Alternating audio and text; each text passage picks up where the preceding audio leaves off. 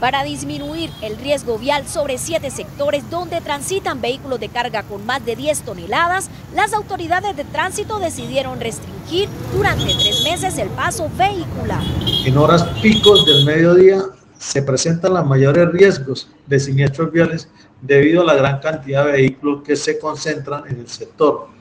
donde se hace la restricción y debido a las continuas quejas y llamados de la comunidad y donde la inspección de tránsito con sus unidades de agente hace presencia en este sector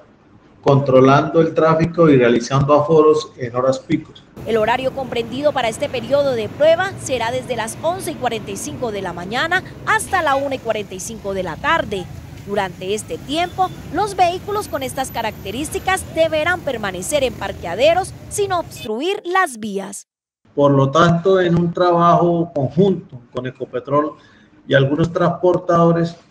con el equipo técnico de la Inspección de Tránsito y Transporte, se hace, necesario realizar una prueba temporal de restricción de vehículos de carga pesada de de 10, de más de 10 toneladas